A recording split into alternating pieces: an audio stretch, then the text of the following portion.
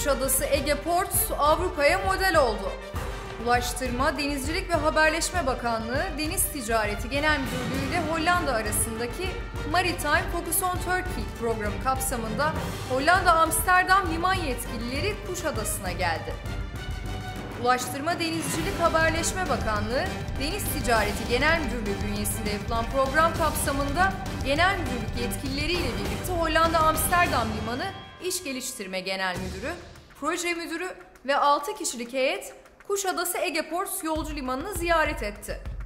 Ege Ports Yolcu Limanı Genel Müdürü Aziz Güngör, global liman işletmeleri çatısı altında Ege Ports Kuşadası Yolcu Limanı'nın hizmet kalitesiyle Avrupa'da da model liman işletme olarak kabul edilmesi ülkemiz adına ve bizler adına gurur vericidir dedi. Misafir heyeti Ulaştırma, Denizcilik, Haberleşme Bakanlığı adına refakat eden Deniz Ticareti Genel Müdürlüğü yetkilisi Bülent Sönmez de açıklamasında bakanlıkları ile Hollanda tarafı arasında sürdürülen ikili izleme programının devam ettiğini ifade ederek Ege Ports Kruvaziyar Liman İşletmeciliğinde model liman işletmelerinden biri.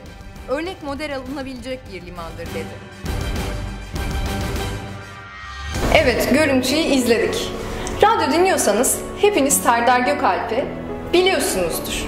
Best FM'in ünlü radyocusu. Şimdi de onu izlemek için görüntüye Çal onu izleyebilirler ama bence bu tip haberler biraz sonra izlenebilir. Deniz tutkunu ve Türkiye'nin en önemli armatörlerinden birisi Tahir Kıran. Bakalım denizlerle ilgili ve sektörle ilgili neler söylemiş.